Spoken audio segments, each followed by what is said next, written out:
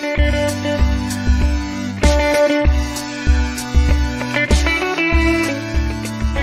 Casa Chagüe, dedicada a la producción y comercialización de mezcales y alimentos típicos de Oaxaca, con más de 30 años de experiencia en el mercado del mezcal. La auténtica y tradicional probadita del buen mezcal en Casa Chagüe, una bebida con tradición ancestral, elaborada de manera 100% artesanal. Conoce nuestra variedad de exquisitos mezcal, cremas de mezcal, para todo mal, mezcal, a todo bien también, y para remedio, litro y medio. Visítanos en Bugambilia, número 1202, sector H, La Crucecita, Bahías de Guadulco, todos los días de 8 de la mañana a 11 de la noche. Y en nuestra web www.mezcalchagüe.com o comunícate con nosotros 01800 123 2462. Te esperamos.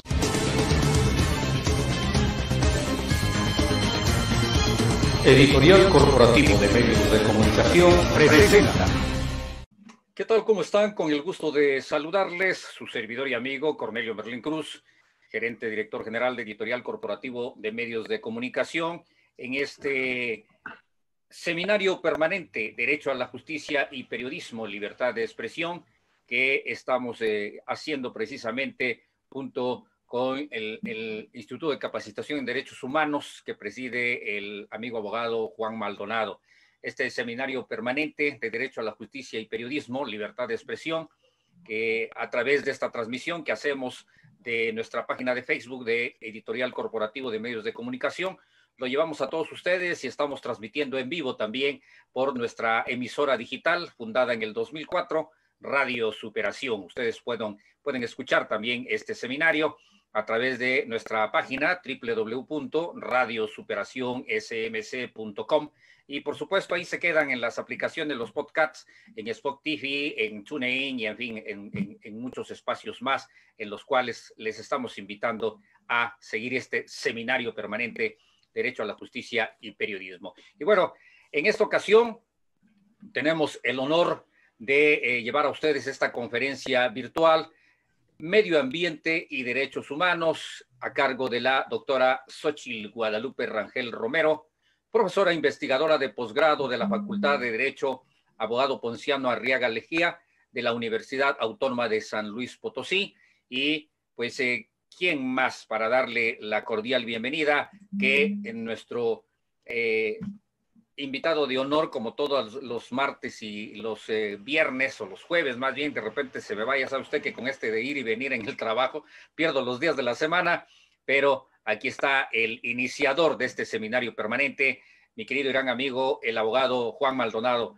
Licenciado, adelante, por favor, bienvenido a este seminario permanente. Cornelio, muy buenos días y muchísimas gracias, muy amable por la presentación. Efectivamente, el día de hoy es un gusto y en verdad, permítame decirlo, es un gusto contar con la participación de la doctora Xochitl Guadalupe Rangel Romero, es una persona brillante, en verdad, es una persona preparada eh, por toda la trayectoria que viene desarrollando en el área académica como investigadora. Ya Cornelio lo comentaba, ella es investigadora profesora de tiempo completo de la Universidad eh, Ponciano Arriaga Legia, de la Universidad Autónoma de San Luis Potosí. Tiene un currículum bastante interesante, ella es doctora, este, pertenece a la Sociedad Mexicana de Criminología y la Red de Investigadores Parlamentarios en Línea, REDIPAL, doctor en Gestión Educativa por el Centro de Investigaciones para la Administración Educativa y doctor en Ciencias Penales y Política Criminal por el Instituto Nacional de Ciencias Penales. Rápidamente, tres, cuatro detallitos sobre el currículum porque es bastante amplio, conocedora del tema. Y a todos los que nos siguen en las diferentes redes sociales, estamos en el seminario permanente Derecho a la Justicia y Periodismo, Libertad de Expresión el tema bastante interesante, medio ambiente y derechos humanos. Amiga Xochitl, bienvenida al seminario permanente. Es un gusto volver a coincidir después de algunos años que tuvimos la fortuna de capacitarnos en unos temas en el Instituto Interamericano de Derechos Humanos sobre temas de derechos humanos propiamente.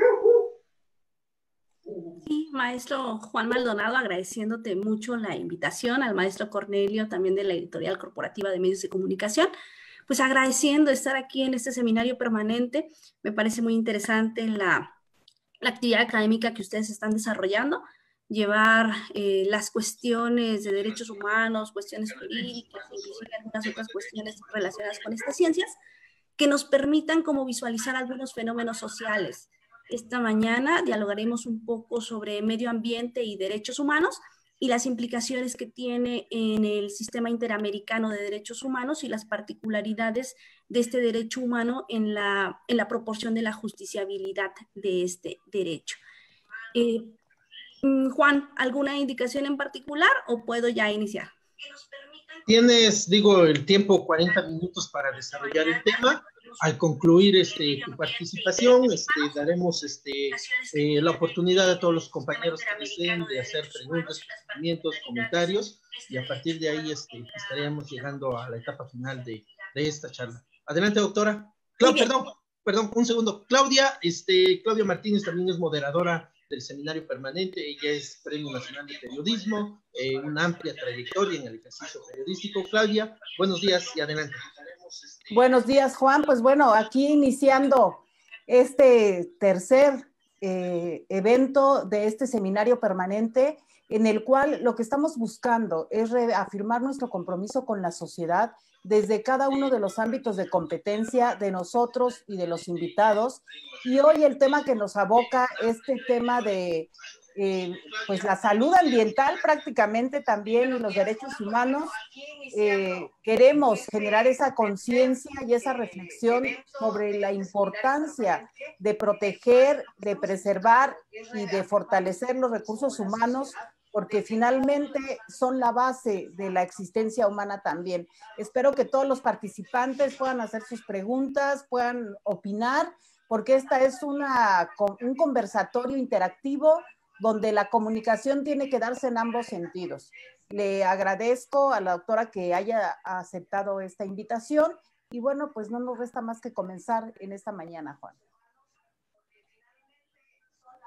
Doctora Sochi, pues adelante, digo, el tema resulta interesante desde la protección en el marco constitucional, artículo cuarto constitucional, establece el derecho a un ambiente sano y desde luego todo el gama, toda la gama internacional que se está construyendo en este tema, puesto que en noviembre del 2017, si no me equivoco, la Corte Interamericana emitió una sentencia en la cual daba la apertura para todos estos temas de lo que son considerados los temas de los DESCA. Dentro de ahí está el medio ambiente. Adelante, doctora, y bienvenida. Pues muchas gracias y vamos a iniciar. La idea de esta mañana es que podamos dialogar sobre el medio ambiente, el derecho humano ambiental y la relación que tiene con los derechos humanos. Nosotros sabemos que hay una crisis ambiental y la crisis ambiental tiene como derivación una repercusión inmediata en el ser humano.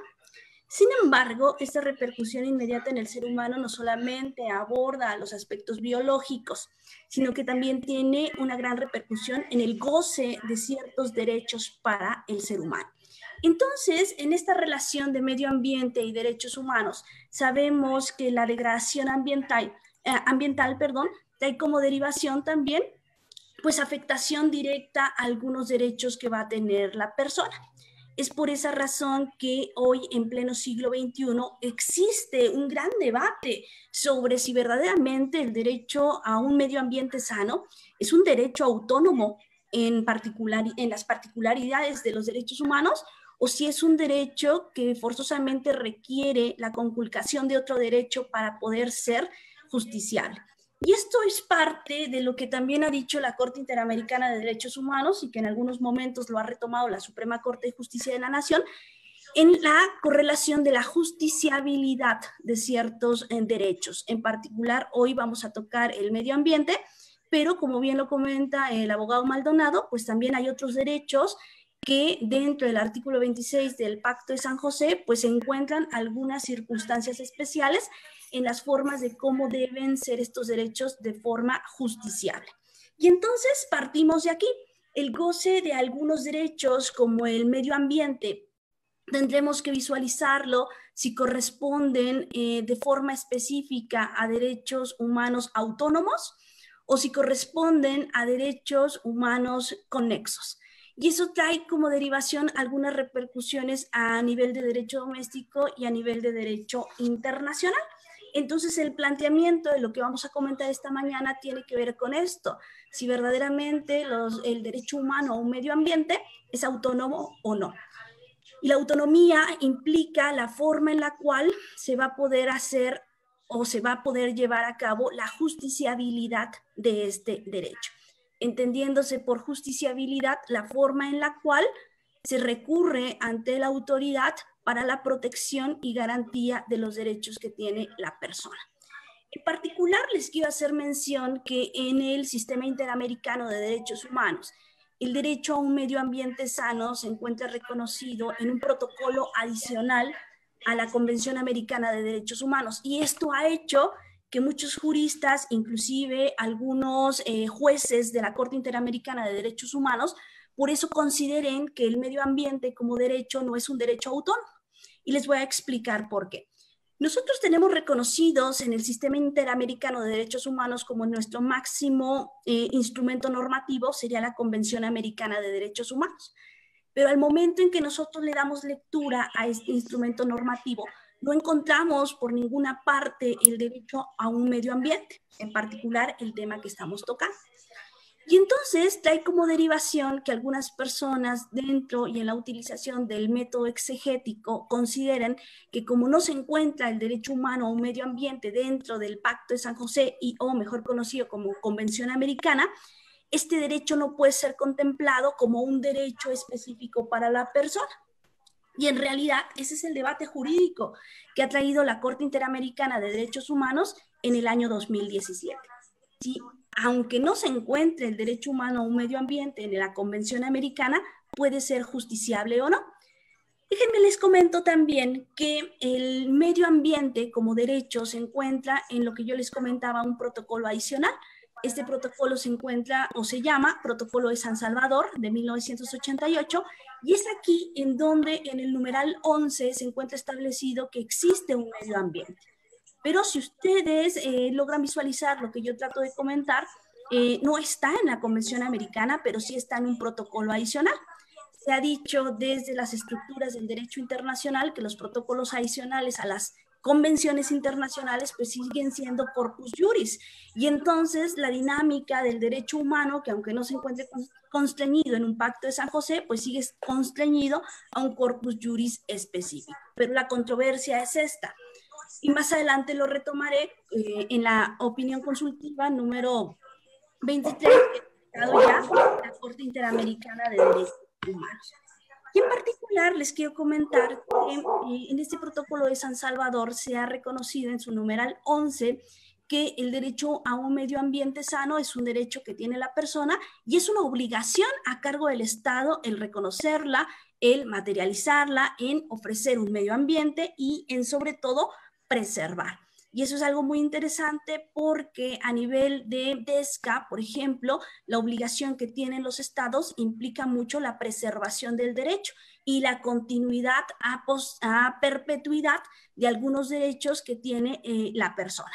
En particular, como ustedes lo saben, en nuestra constitución política nosotros encontramos el derecho humano, el derecho positivado, de un medio ambiente en el artículo cuarto, y esto es importante porque desde las estructuras normativas nacionales, pues consideramos que existe el medio ambiente, pero no nos deja claro el legislador, o bueno, nos no nos deja claro el poder constituyente, en particular si este derecho es autónomo o es conexo a un derecho que tiene la persona.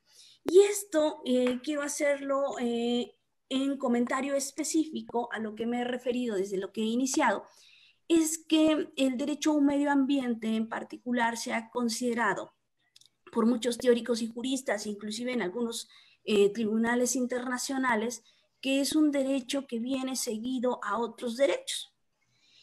Y como es un derecho ligado a otros derechos, por sí mismo no se puede ah, solicitar la justiciabilidad de un derecho humano al medio ambiente. Pero ¿qué significa que este derecho esté ligado a otros derechos? Si colocamos como ejemplo el derecho a la vida, el derecho a la vida es un derecho conexo al ser humano porque forzosamente tiene que existir la vida para que la persona en particular pueda ejercer otros derechos. Esto significa una teoría que nosotros hemos llamado teoría de las eh, propiedades conexas de los derechos, que trae como derivación que algunos derechos forzosamente requieren la preexistencia de algunos otros para poder ser efectivos. Y eso trae como derivación, si lo colocamos en este rubro, si verdaderamente el medio ambiente es un derecho conexo o es un derecho autónomo al ser humano y por lo tanto requiere una protección, una protección especial. Entonces, el derecho a un medio ambiente se ha colocado desde las eh, normativas internacionales como un derecho que forzosamente requiere la protección del Estado, la protección y la preservación, porque hablamos de que algunos derechos que se le han catalogado como DESCA, pues requieren forzosamente la preservación de ciertos contextos. Y la preservación de ciertos contextos implica que el Estado tiene que hacer más cosas. Estas más cosas implica pues materializar algunas políticas públicas en ciertos contextos públicos y privados o sociales que den como derivación la armonía y la preservación inmediata de ciertos derechos.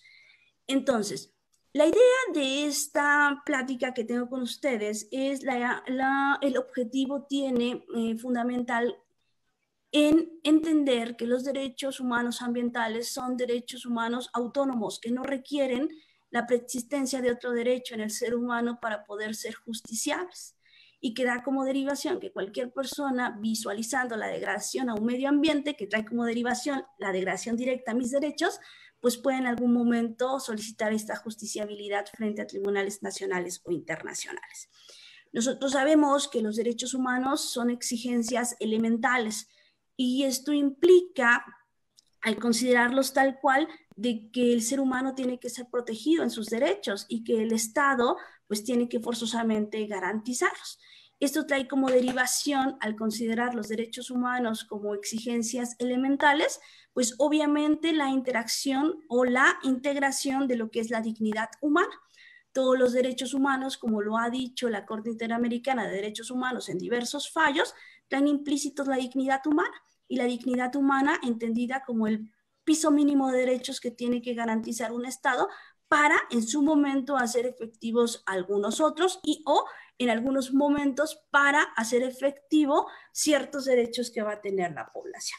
Entonces, los derechos humanos, en particular los ambientales, también entran en esta categoría, bajo el entendido de que si bien estos derechos humanos no nacen con la persona, sino más bien le dan más derechos, trae como derivación pues que tengan que tener las mismas eh, la misma categoría que un derecho humano, es decir, universales, interdependientes y que tengan como derivación también que estos derechos humanos ambientales pues sean autónomos. La idea de los derechos humanos es que podamos ejercerlos y podamos en algunos momentos solicitar su protección de forma autónoma sin la necesidad de estar conculcados con otros derechos. Y esto es parte también de lo que el derecho humano a un medio ambiente sano nos ha colocado. Entonces, con el derecho humano a un medio ambiente sano se ha sido un poco injusto. Ello en razón de que, eh, si ustedes recuerdan lo que acabo de mencionar, líneas eh, hace unos segundos atrás, pues no hay una regulación internacional específica, sino que viene adherido a un protocolo adicional. Y entonces esto traído como derivación con base en las metodologías exegéticas que con el derecho humano a un medio ambiente sano pues tengamos ciertas, eh, ciertas dificultades. Ello en razón de que no se considera dentro del catálogo elemental de derechos humanos por no encontrarse dentro del Pacto de San José.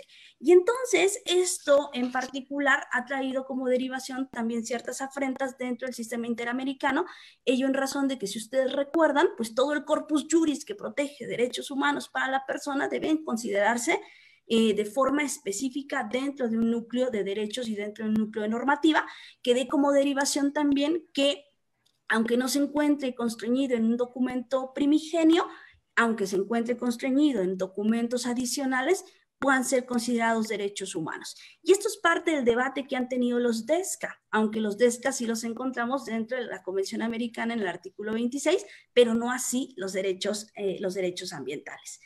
Y esto también tiene un antecedente, esto lo podemos encontrar y visualizar muy bien en la Carta Africana de los Derechos eh, Humanos y de los Pueblos que eh, de 1981, en donde ahí sí se reconoce forzosamente que para ser justiciable un derecho, en particular el derecho a un medio ambiente, requiere la conculcación primero de ciertos derechos previos a la persona. Y entonces esto trae como derivación de que si la degradación del ambiente afecta mi derecho a la salud, mi derecho a la salud es el derecho primero y por eso puedo solicitar más adelante eh, la violentación o la conculcación a un, derecho, eh, a un derecho humano ambiental. No lo puedo solicitar de forma autónoma.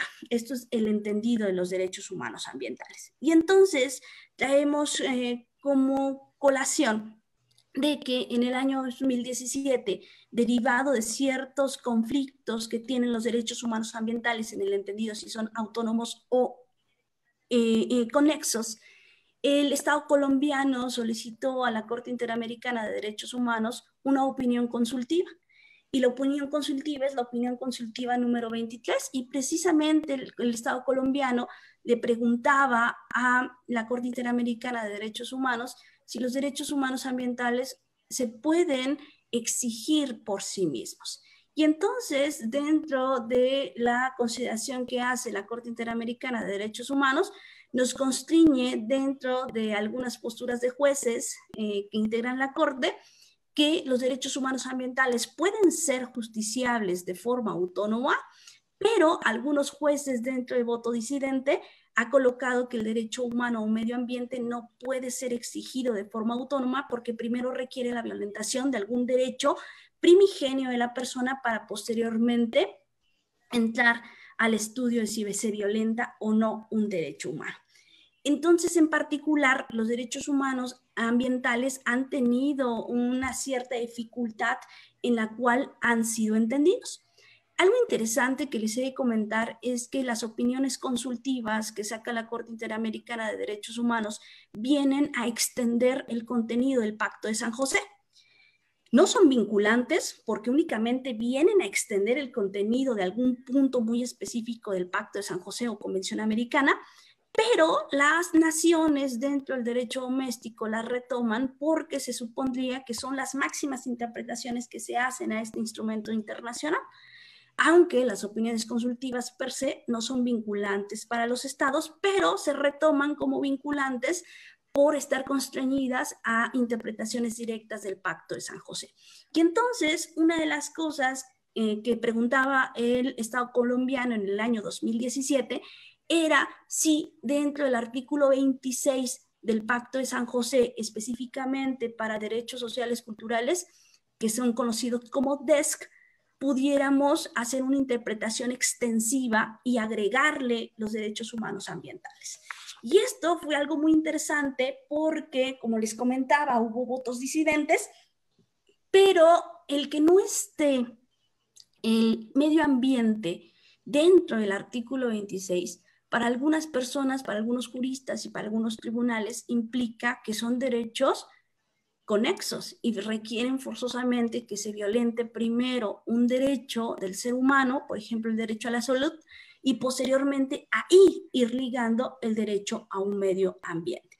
Entonces, si ustedes se fijan, lo que le pregunta el Estado colombiano a la Corte Interamericana de Derechos Humanos es un gran avance para los ejercicios de justiciabilidad de los DESCA, hoy conocidos ya DESCA, pero antes conocidos como DESC.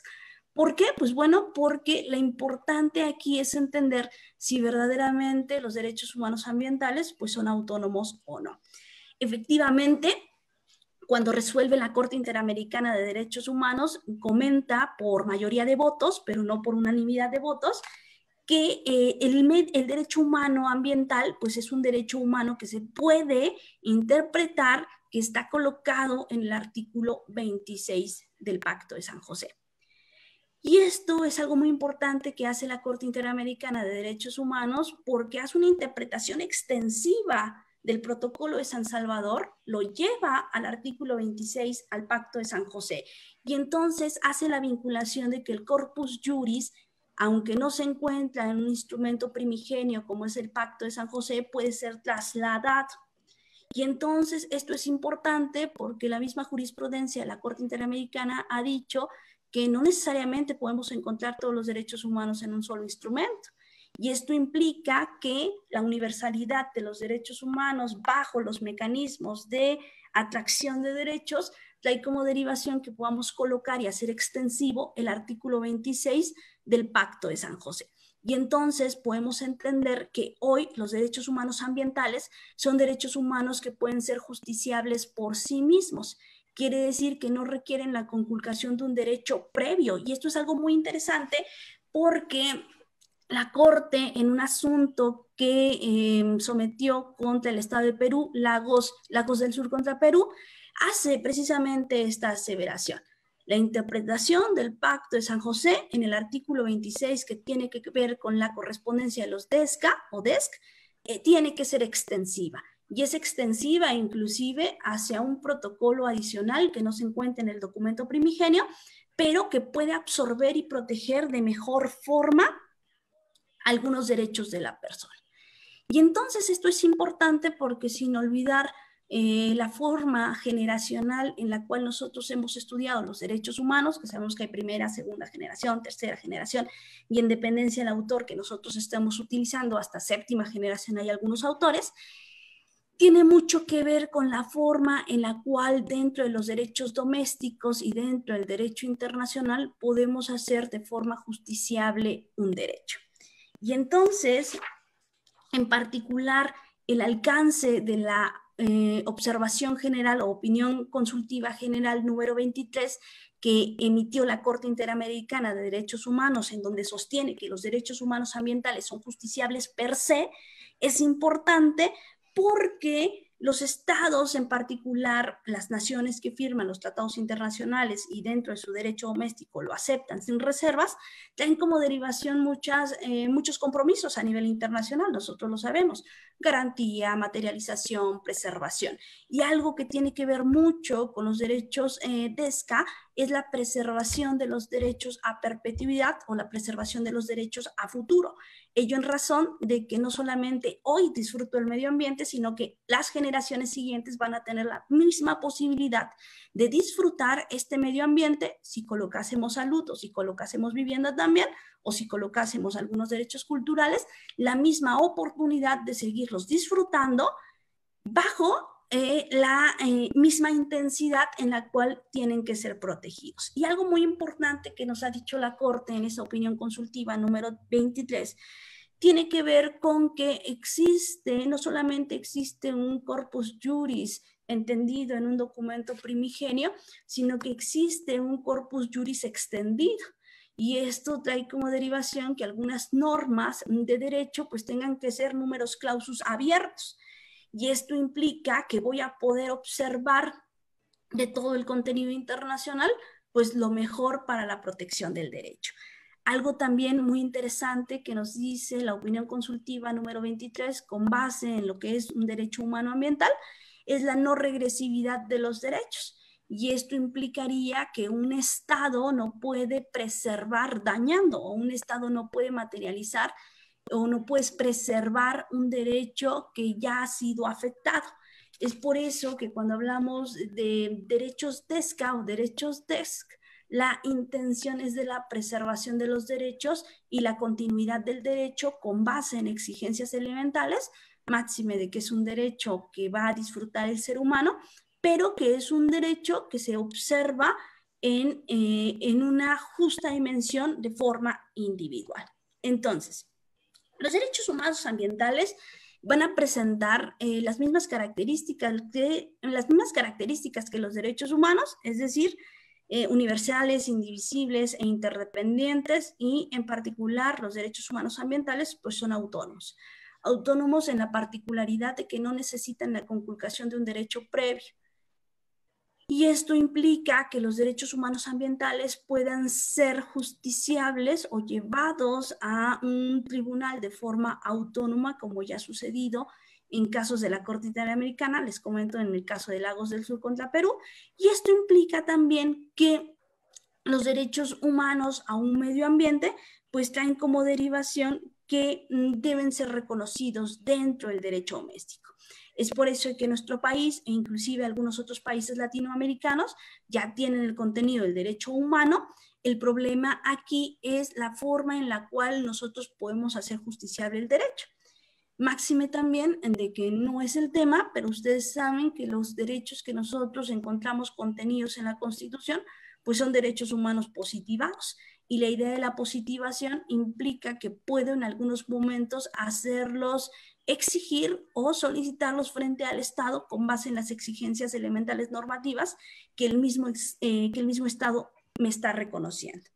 Entonces, los derechos humanos ambientales hoy se sitúan en un camino progresivo, porque sabemos que la protección a los derechos humanos pues, se encuentra en algunos momentos ceñida o constreñida a derechos individuales eh, de la persona. Por ejemplo, tenemos algunos casos latinoamericanos en donde sí se reconoce el derecho humano a un medio ambiente, pero se reconoce ligado al derecho a la salud, por ejemplo. Entonces, esto implica que la justiciabilidad de los derechos, tanto el derecho a la salud como el derecho a un medio ambiente sano, pues venga en algunos momentos contradictorio a lo que ha dicho ya la opinión consultiva número 23 de la Corte Interamericana de Derechos Humanos. Hoy se reconoce un derecho humano al medio ambiente, se encuentra constreñido en un protocolo de San Salvador, aunque no se encuentra establecido en la Convención Americana de Derechos Humanos en el artículo 26. ¿Qué retos tienen los eh, derechos humanos ambientales? Pues uno de los primeros retos es posicionarse dentro eh, del cúmulo de derechos de primer nivel que el ser humano tiene, bajo la máxima de que forzosamente requerimos el medio ambiente para la consecución o la visualización de algunos derechos que tiene la persona. Y, pero esto eh, es visto de forma diferente. El medio ambiente es necesario para hacer realidad para hacer realidad, perdón, algunos derechos que tiene la persona. Pero no es al revés, no es que venga ligado a mis derechos eh, primigenios como persona, ¿no? Sino que el derecho, eh, el derecho humano a un medio ambiente sano trae como derivación las formas específicas de incorporación de otros derechos dentro del contexto de la persona y o dentro del contexto de los grupos. Hoy, en pleno siglo XXI, pues no se ha reconocido de forma al 100% desde la Corte Interamericana de Derechos Humanos que los derechos humanos ambientales sean justiciables eh, por sí mismos. Ello en razón de que encontramos disidencias en la opinión consultiva número 23 bajo los argumentos de que el derecho humano a un medio ambiente sano forzosamente requieren la conculcación previa de algunos derechos y la conculcación previa de algunos derechos son los que le dan sustento a la persona de llevar el derecho a un medio ambiente sano a la justiciabilidad frente a algunos tribunales. Cosa entendido es que algunos, eh, cosa entendida que eh, los derechos humanos ambientales en algunos retos que presenta dentro del sistema interamericano es que también algunas legislaciones, algunos países en ciertas legislaciones puedan regular de forma efectiva que verdaderamente la persona tiene derecho a este medio ambiente, pero no sabemos de qué forma el Estado va a preservarlo, ni no sabemos de qué forma el Estado va a materializarlo. Y eso es parte importante de la positivación de los derechos fundamentales, cómo el Estado va a hacerle, va a hacerle para proteger, para garantizar, para preservar, para en algunos momentos otorgar a perpetuidad, por ejemplo, si hablamos de los DESCA, las mismas condiciones que hoy tenemos hacia el futuro. Y entonces esto es parte de algunos debates que cuestionan si verdaderamente los derechos humanos ambientales pues son derechos eh, humanos autónomos. Algo importante es que los derechos humanos al medio ambiente no se han desligado de los derechos individuales de la persona. Ello en razón de que los derechos uh, humanos individuales, por decirlo así, pues son derechos que puedo yo en algunos momentos ver o materializar. Nunca en el derecho a un medio ambiente sano eh, lo voy a poder ver o lo voy a poder materializar, aunque sabemos, aunque sabemos que existe. Otro reto que tienen los derechos humanos ambientales es la forma de justiciabilidad. ¿Cómo voy a hacerle dentro de mi derecho doméstico para poder eh, llevar la violación o la afrenta a este derecho humano, a un medio ambiente, frente a las consideraciones que se tienen dentro del derecho doméstico. Y esto es parte, esto es algo muy interesante porque, si bien es cierto, ya la Corte Interamericana de Derechos Humanos ha colocado algunos estándares de protección al derecho a un medio ambiente, pues la incorporación de los derechos humanos ah, ambientales pues se encuentra un poco desligada y un poco desdibujada, ¿no? En particular dentro del constreñido eh, de los derechos domésticos de algunos países y obviamente dentro del, del contenido que establece pues el mismo Pacto de San José o Convención Americana. Hoy los derechos humanos dentro de la Organización de Estados Americanos y dentro de, los, eh, dentro de las naciones de este hemisferio, pues se encuentran ya muy establecidas, ¿no? Casi la mayoría de los países de este hemisferio se encuentran constreñidos a la Carta de la OEA, casi la mayoría, salvo ciertas excepciones como Cuba, Venezuela, se han limitado en algunas consideraciones al Pacto de San José y a la misma eh, competencia de la Corte Interamericana de Derechos Humanos, pero para ninguno escapa que el medio ambiente requiere forzosamente de ciertas protecciones. Y la protección al medio ambiente tiene que venir ligada desde la protección de los instrumentos normativos que dan como derivación que forzosamente se tengan que tener estas protecciones de derechos y da como derivación que los estados forzosamente tengan que positivarlos dentro de su derecho doméstico. Por eso vamos a observar que México, en el camino de la positivación de los derechos, pues ha hecho ciertas reformas para incluir algunos derechos humanos, que tendremos que observar que algunos otros derechos humanos no se encuentran positivados en la norma y esta es la gran complejidad que se tienen ahora dentro de los debates del Estado constitucional. Si todos los derechos humanos forzosamente tienen que estar positivados en la norma constitucional, Hoy sabemos que la protección a los derechos, aunque no se encuentren en la Constitución, pues la podemos realizar bajo los mecanismos que el mismo Estado y la normativa nos dan, pero la idea jurídica y la idea académica es que la mayoría de los derechos humanos se encuentren positivados en la norma fundamental. Aunque, si ustedes recuerdan, eh, no necesariamente hay algunos derechos humanos constreñidos en la norma fundamental, pero sí los tenemos constreñidos en normas secundarias, por ejemplo, en nuestro derecho doméstico nacional, y esto da como derivación también los mismos alcances que ha hecho de interpretación la Corte Interamericana de Derechos Humanos, que al final de cuentas todo es un corpus juris de protección para la persona, independientemente en el nivel de norma que podamos encontrar.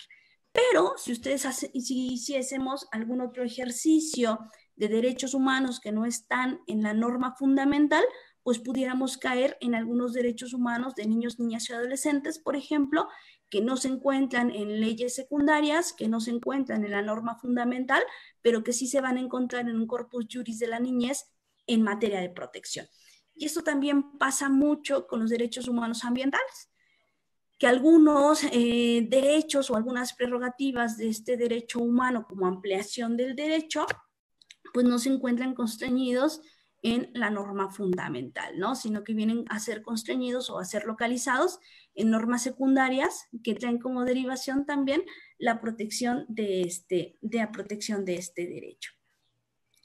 La idea de incorporación de derechos humanos tiene que ver mucho con la amplitud de los derechos que se quieren eh, visualizar dentro del derecho doméstico o dentro del derecho internacional y el camino ya está muy dado por la Corte Interamericana de Derechos Humanos cuando hace el ejercicio de que el corpus juris ambiental o corpus juris del ambiente, pues no solamente lo vamos a encontrar en el artículo 26, sino lo vamos a encontrar regado dentro de todo un panorama de derecho internacional así ya establecido, así ya conocido, así ya visualizado por casi la mayoría de las naciones.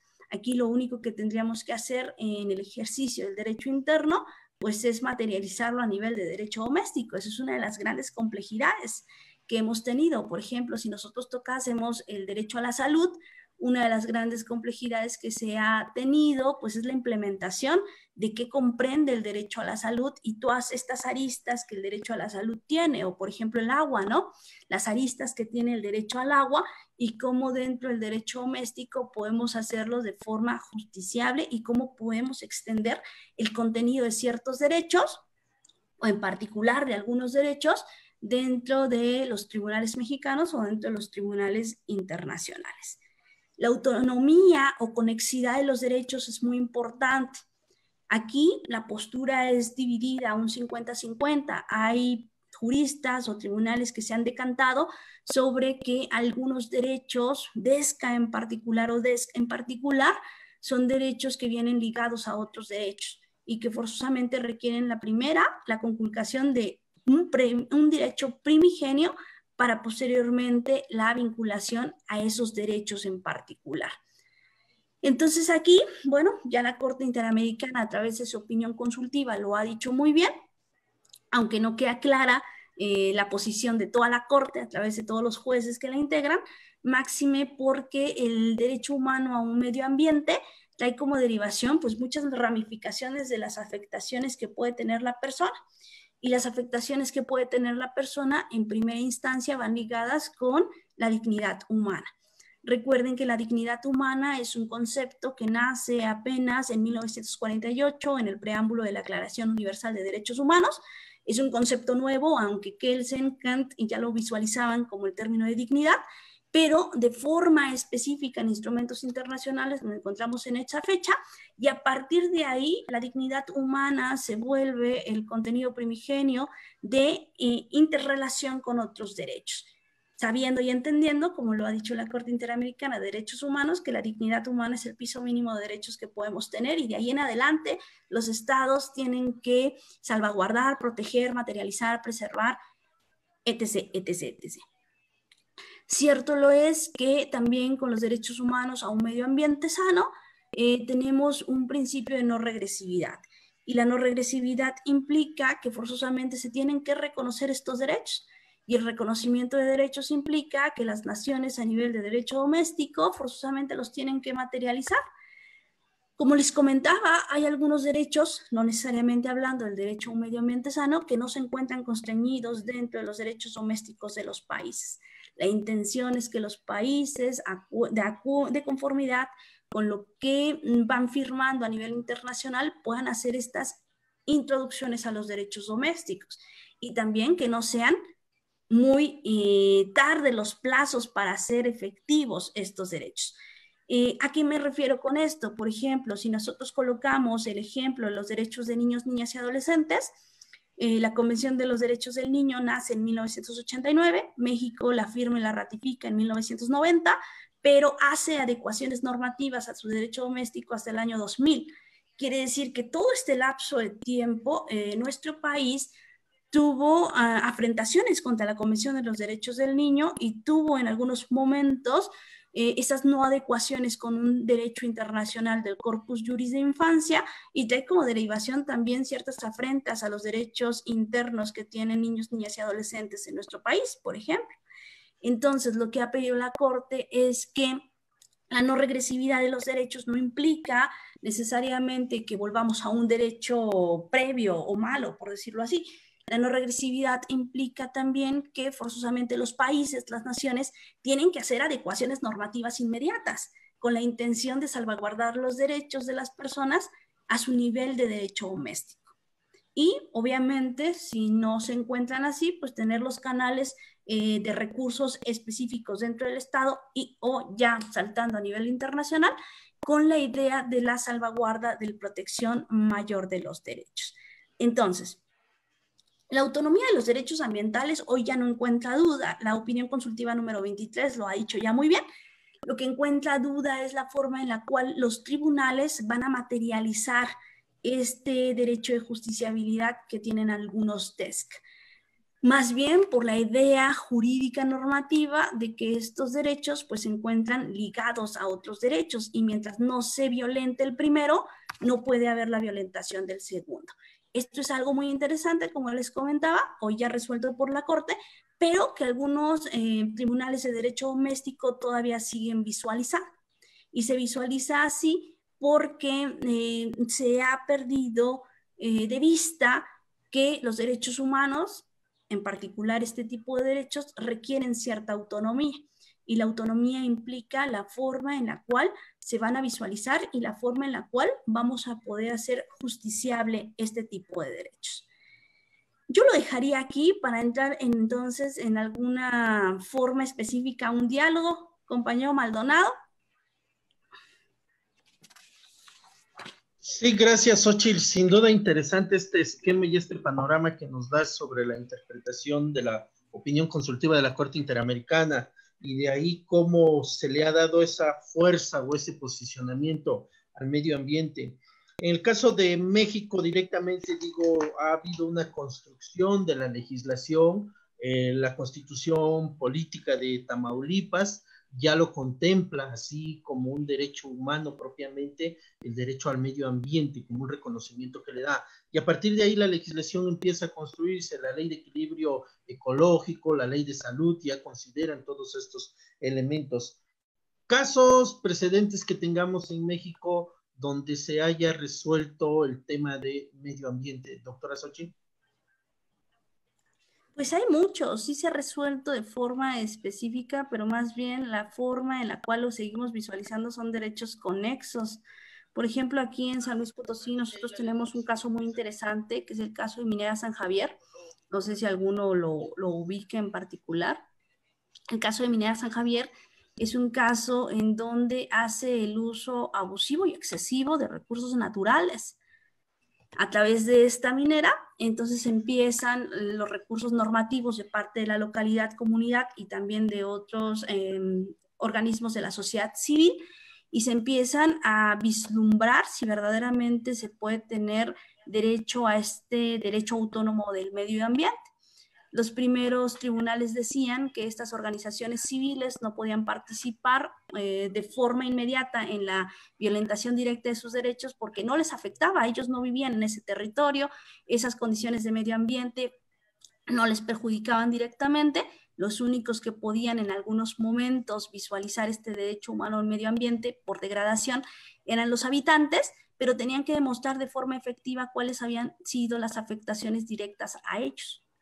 Entonces fue un caso interesante que llega a la, tengo entendido que llega a una de las salas de la Corte, pero no se visualiza en sí si el derecho humano al medio ambiente es autónomo o no, sino que se visualiza previamente si eh, los recursos emitidos dentro de las comunidades o por las sociedades civiles, pues eh, son parte o son parte idónea de este contenido.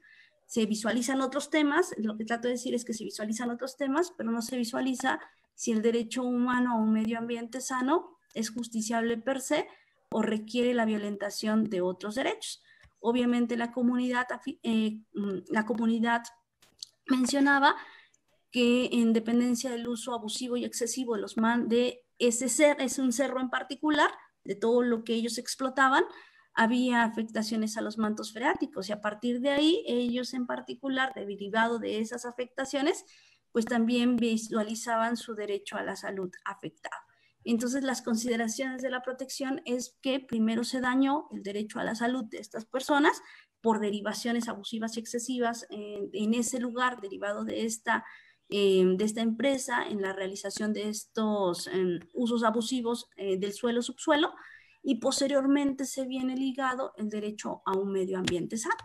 Esto es lo que en algunos momentos, por ejemplo, aquí en San Luis Potosí, derivado de ciertas normativas, se ha visualizado. Y esto es lo que trataba de comentarles, eh, que muchas veces dentro del derecho doméstico se ve liga al derecho a un medio ambiente previamente eh, ligado a otros derechos que se ven afectados en, esta eh, consecución de derechos. Y en particular no es así. Se violenta el derecho a un medio ambiente sano, porque al final de cuentas todos tenemos derecho a ese goce y disfrute, pero también se violenta el derecho a la salud, ¿no? Pero de forma autónoma. La idea es llevarlos de forma autónoma, pero no ligados.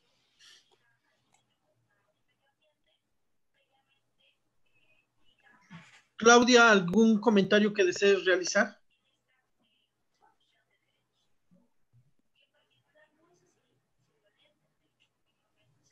Tu micrófono, Claudia.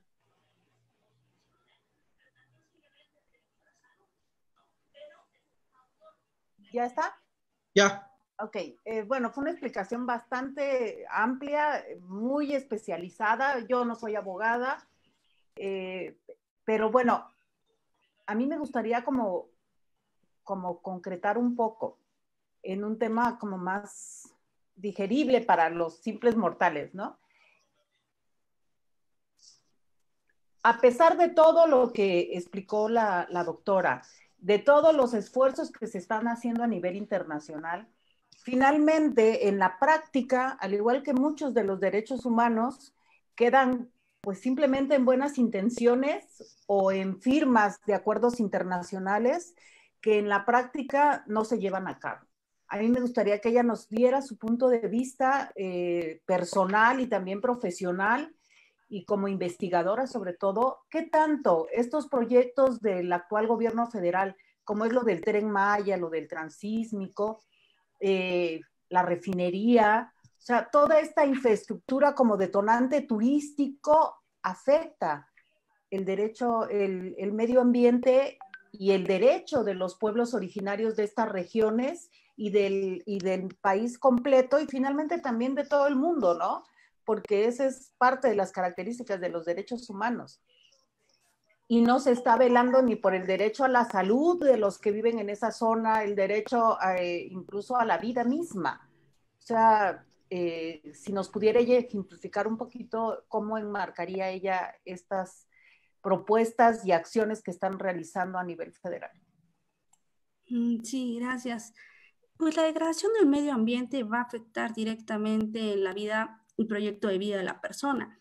Aquí lo más importante es cómo el Estado puede en algunos momentos, con base en su ejercicio de protector de los derechos de la persona y de la colectividad, hacer eh, propicio una verdadera protección de los derechos de las personas.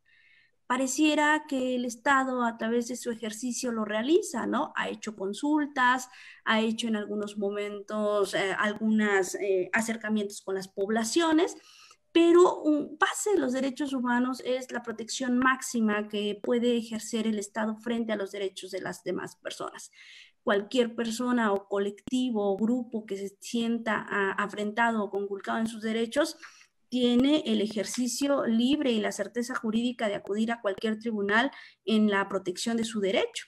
Aquí el único problema que vamos a encontrar, no solamente visualizando el derecho a un medio ambiente sano, sino las formas en las cuales el Estado nos puede resolver en algunos momentos algunos, algunas afrentas jurídicas que vamos a tener.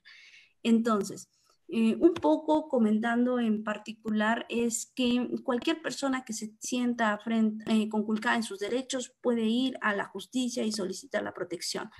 Aquí el único problema es cuáles son los mecanismos que nos da el Estado para acudir frente a él a, solicitar la protección que tengo con mi derecho. Y ese es uno de los grandes debates que tenemos a nivel internacional, ¿no? No solamente en el nivel de DESCA, eh, sino en la, en la visualización de otros derechos. ¿Cómo le hago para yo solicitar la protección de mi propio derecho con base en un marco normativo que a lo mejor no se encuentra eh, lo más idóneo o sólido con base en derechos humanos. Pues bueno, ya lo tenemos, ¿no? Ya tenemos ese camino jurídico frente a los tribunales nacionales y aquí la idea sería seguir avanzando hacia tribunales internacionales en la dependencia de lo que el Estado en algunos momentos hacer o decir. Dejar atrás el panorama estadocéntrico, es decir, visualizar al Estado que lo puede todo, sino, sino más bien visualizar que es la población la que requiere y la que necesita en algunos momentos la protección de ese Estado. Lo que considera el Estado como bien común es algo que se puede también eh, visualizar en tribunales. Por ejemplo, eso que usted comenta de un tren Maya, alguien pudiera decir que es bien común, pero alguien también pudiera decir que se afrenta a un, a un ejercicio de derechos. Pues bueno, eso lo tienen que valorar los tribunales. Pero aquí lo más importante es eh, yo creo que la persona o personas tengan los medios idóneos y el conocimiento idóneo de que pueden acudir frente a la autoridad en cualquier momento eh, y en cualquier momento que ellos consideren oportuno y crean que su derecho se encuentra mm, vulnerado.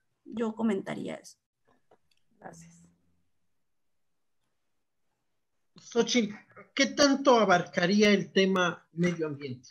Digo, es una pregunta que nos hacen desde el desde WhatsApp, desde el teléfono, ¿qué involucra? ¿Qué tanto abarca el tema de medio ambiente? Sí, el medio ambiente abarca no solamente un medio ambiente sano, sino el goce, ¿no? El cómo yo lo voy a desarrollar. El, ¿Qué incluye el medio ambiente? Pues incluye de forma específica eh, cómo yo voy a hacer y desarrollar vida en este contexto, en este territorio, sin que afrente de forma efectiva eh, los derechos de alguien más. Y entonces el medio ambiente incluye muchas cosas, incluye calidad de vida, incluye goce y disfrute, el medio ambiente incluye en algunos momentos eh, también proyecto de vida, porque con un medio ambiente sano podemos hacer muchas cosas. Y esas muchas cosas implica en realidad pues la calidad de vida que puede tener una persona y que tiene que ver mucho también con las formas específicas de cómo nosotros podemos integrar algunos, algunos derechos.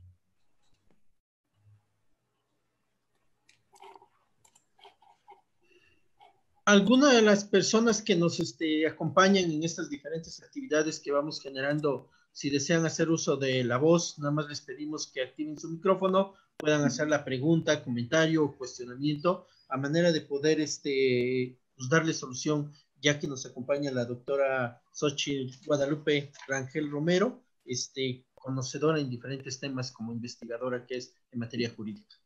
Abrimos ese espacio, Claudia. Sí.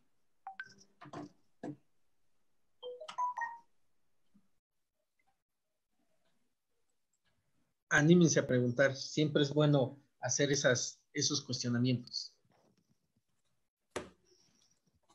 A ver, yo acá estoy recibiendo unas, eh, bueno, primero felicitaciones a la doctora por su exposición, aquí también en, lo que estamos compartiendo en nuestras redes sociales. Y hay una pregunta que dice, eh, ¿qué tanto el Estado, en el caso de llegar a los tribunales, está obligado de alguna manera, pagar o indemnizar a los pueblos o a los individuos o a las comunidades por los daños ocasionados por acciones gubernamentales al medio ambiente. Sí, a nivel internacional, si fuésemos, si estuviésemos en el caso de la Corte Interamericana de Derechos Humanos, pues ya hay muchas formas de responsabilidad frente al Estado, ¿no?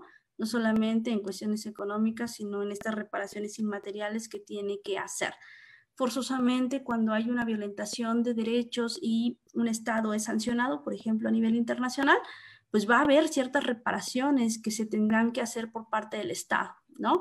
Uno de los casos que han impactado mucho es el lago, el caso de Lagos del Sur contra Perú, eh, donde ahí se hacen reparaciones no solamente económicas, sino también reparaciones inmateriales y materiales directamente a un medio ambiente, ¿no? Entonces sí existen estas posibilidades eh, de ciertas reparaciones. Es también un, es un debate em, interesante a nivel de DESCA, cómo hago la reparación, a quién le hago la reparación, ¿no? Porque si hablásemos, por ejemplo, de un derecho violentado a una persona, pues sabemos que la reparación va a esa persona o va a esa familia. Pero en el caso de los DESCA o en el caso de los DEX, eh, la reparación implica una reparación colectiva, ¿no? Y esa reparación colectiva implica pues que muchos somos los dañados por esa, eh, por esa mala conservación, por esa mala, por esa degradación que ha tenido el medio ambiente. Es por eso lo que les comentaba. Por eso no es tan fácil ser justiciable, por también por las formas de reparación. Si yo digo tribunal que el medio ambiente es un derecho justiciable autónomo, ¿a quién le voy a hacer la reparación si es que el Estado dañó? Por eso es más fácil visualizar el medio ambiente ligado a un derecho individual porque la reparación va a ser para la persona en lo individual y o si tiene alcances a su familia, pues a su familia. Pero es más fácil las formas de nivel de reparación cuando son autónomos o son ligados a ciertos, a ciertos derechos. Oiga, doctora, y por ejemplo, en el caso de, estos problemas que hemos tenido ambientales, que son contingencias graves para el medio ambiente en, en en algunas fugas de oleoductos donde se han contaminado no solamente los lagos o algunos ríos, sino los mantos freáticos y que de alguna manera se habla, se difunde, los, los periodistas lo posicionamos en la opinión pública, lo hacemos visible, pero ya no hay una continuidad porque finalmente pues los pueblos se están enfrentando al Estado. O sea, y las leyes pues las hace el Estado y las aplique el Estado finalmente. Entonces aquí solamente se sabe de la contingencia, en algunos casos se ha pedido que limpien, ¿no? Pero no pueden drenar un lago, no pueden drenar un río. Y esto también eh, afecta a todo el entorno ecológico, o sea, desde los seres vivos, como también la fauna, la flora y, y el ser humano en su salud, ¿no? Con impactos a largo tiempo. Hace varios años aquí en Oaxaca tuvimos un caso donde se estaba cuestionando que muchos niños eh, en una comunidad de aquí de Valles Centrales estaban presentando eh, deformaciones congénitas en el cuando nacían y se empezó a asociar con el uso del barro, del vitriado que se hace en Atzompa, esta parte verde y que tenía grandes cantidades de plomo y que podía haber una implicación directa sobre el uso de este material porque además se cocinaba con él, se trabajaba con él y todo esto, ¿no? Pero no hubo más avances. Entonces, de repente, sí, en, otros, eh, en otras latitudes, en otros países a nivel internacional, pues van muy, muy avanzados eh, en estos derechos como el medio ambiente, pero en México y en Oaxaca, digo, sigue siendo así como ni siquiera acabamos de entender que existe un virus y creer que existe, pues menos vamos a pensar en que tenemos derechos ambientales, ¿no? Sí, claro, una de las posiciones que tiene la justicia ambiental en México es que el que contamina paga. Pero ¿dónde está el Estado cuando, eh, derivado de las ausencias legislativas o normativas, derivado de estas omisiones legislativas, pues trae como de afrenta o degradación a un medio ambiente, ¿no? Por ejemplo, nosotros tenemos, sí, tenemos regulación normativa, tenemos una ley federal de eh, mm, reparación de daño, tenemos una ley JEPA, tenemos leyes estatales, pero pareciera también que los derechos humanos a un medio ambiente se han quedado un poco rezagados, precisamente como usted lo comenta, ¿no? Porque pareciera que son derechos humanos mm, de un quinto o sexto nivel y no los consideramos como un derecho humano primigenio. Primigenio no ligado a ciertos derechos, por eso es su justiciabilidad, pero es un derecho que forzosamente requiere ser visualizado de forma eh, primigenia para que el Estado pueda en algunos momentos eh, pues actuar, ¿no? Bajo esa consideración de justicia ambiental de la que les comentaba de que el que contamina paga, pero eh, tendría que ser un poco extendido a, también a las repercusiones que va a tener el Estado por las omisiones que el mismo Estado realiza, ¿no? Y las omisiones que puede realizar el Estado es no tener una legislación normativa ambiental idónea o adecuada. Gracias.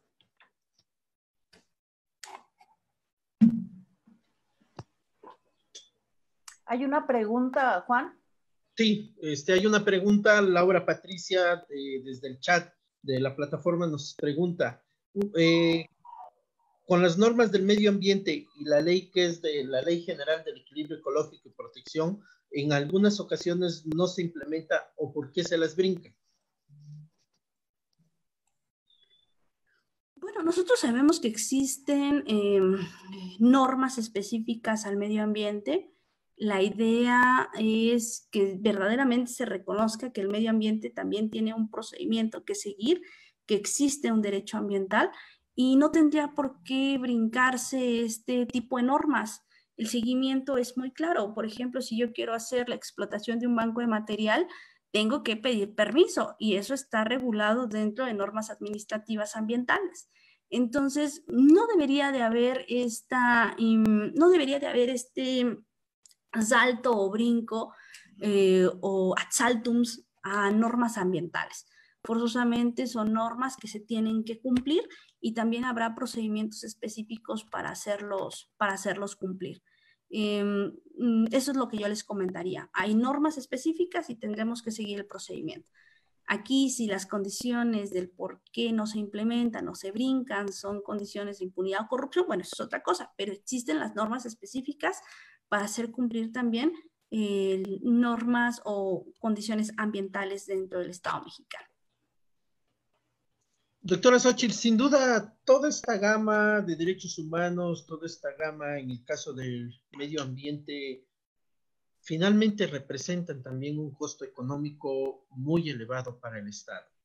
Y desde luego el Estado generará en ese esquema de que hay prioridades en otra cuestión, puede ser una de las causas que limita la aplicación o que genera un procedimiento demasiado lento para poder hacer exigible este derecho? Sí, sí, sí, sí, pudiera ser en algunos momentos las formas específicas, ¿no? Por ejemplo, México, derivado de los impactos y los costos al medio ambiente, gasta punto, punto 56 del su PIB, ¿no? Y entonces ahí como derivación que forzosamente tal vez el medio ambiente no sea un problema o un fenómeno visualizado desde el Estado. Pudiera ser alguna, y esa también lo puedo ligar con la pregunta anterior, del por qué a veces no se implementa o se brincan ciertas normas, porque pudiera parecer que el medio ambiente no es un tema importante dentro de la agenda pública. Pero hoy sabemos que el medio ambiente dentro de los contextos del derecho doméstico y dentro del contexto de cada localidad es importante y tiene que tener un lugar en la agenda pública y tiene que tener recursos para poder en algunos momentos eh, incitar al Estado de que conserve, de que preserve y también a la sociedad de que realice estas acciones. Entonces, ciertamente el medio ambiente ha sido visualizado como no algo importante, pero hoy sabemos que con base en algunas, algunos principios de forma específica, el derecho humano a un medio ambiente o el medio ambiente como tal es un eh, elemento eh, primigenio dentro de la estructura del ser humano y dentro de las colectividades específicas, ¿no? Gracias, doctora Xochitl. Sin duda interesante el tema, este panorama de materia jurídica, de cómo se está avanzando por lo que representa el tema ambiente, que lamentablemente pues no, no se tiene esa claridad, esa autonomía plenamente, o que tiene que ser anexo al ejercicio de otro derecho para poder ser contemplado. Finalmente, hay mucho por hacer, hay mucho por construir y en la medida en que generemos esta serie de charlas, diálogos y debates, pues van a permitir generar una cultura de información en la ciudadanía y a partir de ahí, pues el ciudadano tendrá que hacer valer en un momento dado este, cada uno de, de sus derechos. Cornelio, ¿algo que desees comentar? Pues en realidad un tema muy, muy interesante no eh, he tenido la oportunidad de, estar, estoy aquí en, el turno retransmitiendo este, la, conferencia, pero indiscutiblemente que siempre el tema del medio ambiente será algo pues prácticamente permanente, sobre todo en, en la situación de como lo he comentado en algunas ocasiones en mis espacios informativos, creo que somos nosotros mismos los seres humanos quienes estamos provocando mucho daño precisamente a nuestra madre tierra en el ámbito del medio ambiente. Pero este tipo de temas son verdaderamente interesantes y muy pocos conocemos que también el medio ambiente es un derecho humano. Así de que, pues adelante, abogado, lo que usted considere para cerrar este, esta interesante conferencia que nos ha eh, dado la doctora Sochi.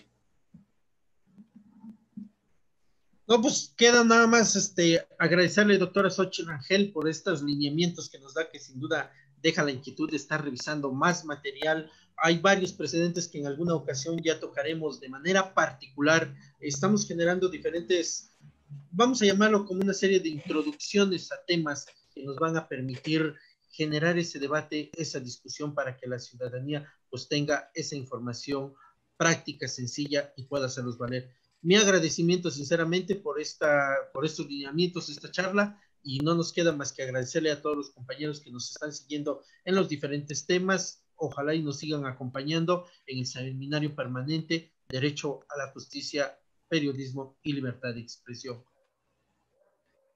Pues así es, muchísimas gracias. Nuevamente, nuestro profundo agradecimiento, doctora Xochitl, por esta importantísima conferencia sobre este tema indiscutible de el medio ambiente y derechos humanos. Y a todos ustedes que nos hicieron el gran favor de seguirnos en esta transmisión en vivo a través de nuestra página de Facebook de Editorial Corporativo de Medios de Comunicación. Nuestro agradecimiento. Les invitamos para que continúe con nosotros en este seminario permanente Derecho a la Justicia y Periodismo, Libertad de Expresión, que estamos llevando para todos ustedes en eh, esta fusión importante que hacemos Voces Ciudadanas con mi eh, compañera y amiga y profesional periodista Claudia Martínez, el Instituto de Capacitación en Defensa de los Derechos Humanos, que preside precisamente el abogado Juan Maldonado, y un servidor de ustedes, Cornelio Berlín Cruz, gerente y director general de Editorial Corporativo de Medios de Comunicación, el que le llevamos. Y les invitamos precisamente para el próximo martes, el próximo, el próximo jueves, perdón, el próximo jueves 23 de este mes, eh, a las 10 de la mañana nuevamente, en este diálogo virtual que se tocará el tema de libertad de expresión en México, el informe 2020, con eh, la participación del maestro Armando Rodríguez Luna, del colectivo de análisis de la seguridad con democracia, Asociación Civil, CACEDE, que estará eh, precisamente este próximo jueves a partir de las 10 de la mañana acá en la transmisión en vivo de eh, nuestro espacio de corporativo de medios de comunicación. Gracias por su favor su atención. Despido transmisión en relación a eh, lo que es nuestra página de Facebook y precisamente cierro también transmisión en Radio Superación, medio y voz de los grupos vulnerables y la ciudadanía. Hasta la próxima. Muchísimas gracias a todos ustedes.